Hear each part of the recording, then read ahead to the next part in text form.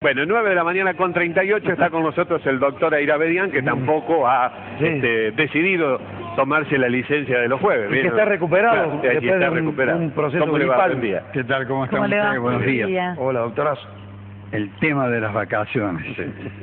Lo que no tiene vacaciones es otra cosa. Hijo de puta. Tendrías que pasar el resto de tu vida en la cárcel. Esa es la reacción de los familiares de una de las víctimas de la llena Barrios. La otra reacción fue la reacción judicial encuadrando la conducta de Barrios en el delito de homicidio culposo y lesiones.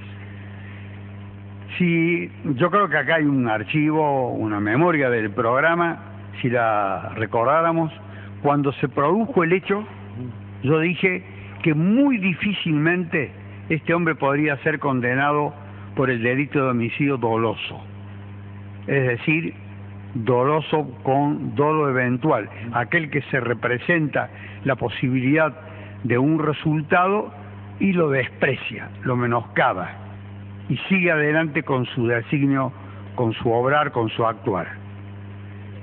Pero a pesar de tener la opinión que tenía, que tengo y que tendré de Barrios, que se trata de un individuo despreciable, tan despreciable como ese que me motivó mis últimas reflexiones, llamado Echecopar, igualmente nauseabundo ambos. La verdad son dos prototipos de una Argentina que uno no quiere. Pero hoy nos ceñimos a este, a Barrios, a su hecho. ¿Es realmente un homicidio por imprudencia o es un homicidio doloso? Este es el interrogante. Si hubiese sido considerado por la Cámara del Crimen y por el fiscal autor del delito de homicidio doloso con dolo eventual, ya le dije lo que es dolo eventual, alguien que se representa cuando está actuando un resultado, una consecuencia y desprecia esa consecuencia y sigue adelante. O es por lo contrario un hecho verdaderamente imprudente. Yo creo que es un hecho de imprudencia, más allá del concepto que me merece Barrios. Leí, no leí, perdón, escuché la sentencia que fue dictada con todos fundamentos por la Cámara de Crimen que lo juzgó y que desencadenó la reacción del público cuando sintió un escosor, una irritación, una exasperación, dolor, bronca, rabia, impotencia, furia, de todo, que continúa incluso en la calle. No se le puede reprochar a la gente el tipo de reacciones que son, por otra parte, cada vez más comunes. Hay muchos juicios en los tribunales de Córdoba, por ejemplo, que terminan del mismo modo, con los que creen que tiene que haber una pena más severa o con los que creen que el acusado es inocente y reaccionan de una manera virulenta. ¿Por qué digo que es un homicidio por imprudencia? Sería culposo. Culposo. Por eso, para llamarlo más apropiadamente, porque muchos creen que cuando dice culposo es porque tiene culpa. Sí. Sí, sí. La culpa es menos que el dolo. Y esto sería entrar en un tratado de derecho penal, cosa que yo no hago para que se me entienda. Imprudencia, negligencia, esas son las características de la culpa en materia penal que tiene una sanción muy inferior a la de aquel que comete un hecho doloso. Aquí la pena mayor era la de cinco años de prisión. No podía exceder de esa pena. Prácticamente le han puesto casi el máximo de la pena. Este hombre venía hablando con el celular. No venía a exceso de velocidad.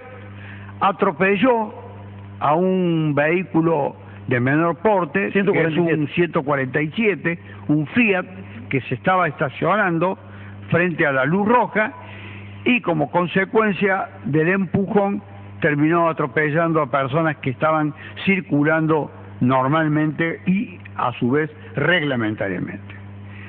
es muy difícil que este hombre se haya representado que a consecuencia de este episodio, por supuesto que venía en un claro ejemplo de imprudencia, hablar con el celular.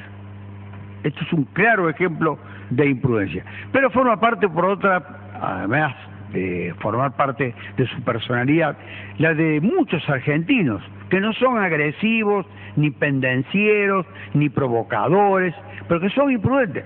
Somos imprudentes y hablamos por celular. Otra lección más, una trágica lección para no hacerlo. Pero este es un tipo que, por otra parte, debe haber estado luciendo su poderoso BM X5 y hablando por teléfono para que todo el mundo lo viera. La llena Barrio que había logrado coronarse campeón del mundo. Un tipo desagradable por donde se lo mire, más parecido a un perro que a un ser humano.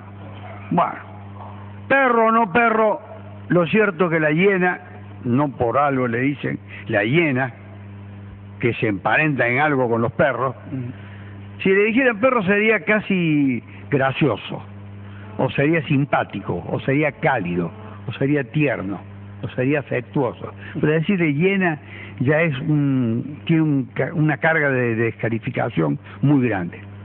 Este es el reproche que se le puede hacer, que venía hablando y inadvertidamente atropelló a ese vehículo que tenía adelante.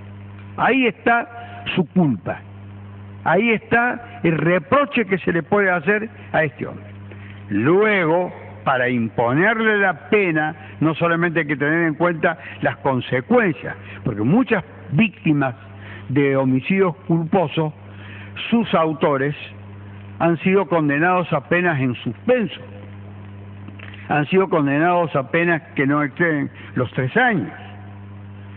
Pero en este caso, lo que se ha tenido en cuenta también es que huyó, lo que revela el no someterse a la acción que seguramente iba a ser inmediata de la justicia a través de la policía. Y luego volvió a embestir a un vehículo y volvió a huir cuando se le hizo saber, se lo anotició lo que había ocurrido. Y él despreció eso. El individuo evidentemente tuvo conciencia cabal de que se tenía que tomar un par de horas para que no se lo sometiera a un examen del que pudiera resultar que había consumido quizá alguna sustancia alucinógena, quizá hubiese bebido, no sé, cualquiera de estas que hubieran agravado evidentemente su conducta. Y finalmente a las seis horas se presentó, estuvo 20 días preso, recuperó la libertad, son delitos escarcelables, estuvo bien escarcelado y ahora, a pesar de la reacción desfavorable que existe en la opinión pública con respecto no solamente a este hombre, sino a los autores de hechos de estas características, los jueces tampoco pueden violar de una manera feroz, diría yo, la ley y decir que una conducta que es culposa es una conducta dolosa. No creo que se le haya pasado ni por la cabeza, ni por ningún lugar, si es que tiene algo de inteligencia Barros, creo que la tiene. Creo que se trata, al margen de todo lo que dije antes, moralmente tiene inteligencia. Que se le pasó por la cabeza que podía tener un resultado trágico como el que tuvo esa imprudencia de él. De manera tal que a pesar de nuestra condena, no digo mía, de nuestra condena como sociedad a la llena de barrio como prototipo del individuo imprudente, que debe ser censurado, reprimido, castigado, lo ha sido. Se lo puede considerar un homicida doloso. ¿Por qué uno, uno de los querellantes, doctor, eh, ayer contábamos que uno pidió 12 años? Un, eh, creo que el, patrocinante de, de, la mamá de la chica que murió. Yamila González. De Yamila González. estaba embarazada. Pidió, entonces... Ellos consideraron que el hecho era doloso. Que va de 8 a 25. Claro, de 8 a 25 en el caso de eh, haber prosperado. Quiero hacer la última referencia sobre los querellantes que piden penas desproporcionadas. Por eso, claro. Pero en este caso era una pena que guardaba relación con la calificación jurídica que la querella le daba al hecho. es, más, es más, eh, creo que esta misma señora dijo que sentía cierto alivio porque finalmente se lo había mandado por lo menos a la cárcel. Y lo último que me preguntó el lagarto, antes de entrar al programa, si efectivamente iba a estar en la cárcel, todavía le queda la posibilidad de pedir mediante un trámite de escarcelación que se lo libere. Y le va a corresponder resolver eso al mismo tribunal que en aquella oportunidad cuando cometió el hecho sí le- lo puso en libertad. Claro que en Hasta aquella que la oportunidad no había todavía sentencia, había solamente una eh, acusación, que es distinto a ser condenado.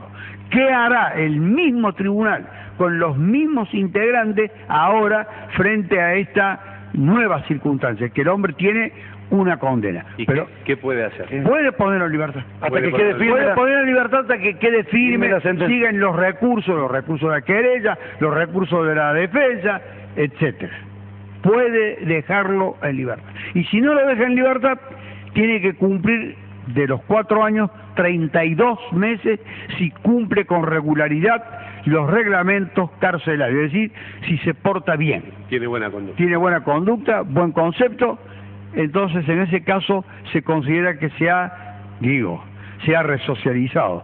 Dudo que eso ocurra en la cárcel. Bueno, lo concreto, queda la posibilidad de que lo liberen. No se sorprendan si lo liberan. Hay una posibilidad. Gracias, doctor. Muy amable.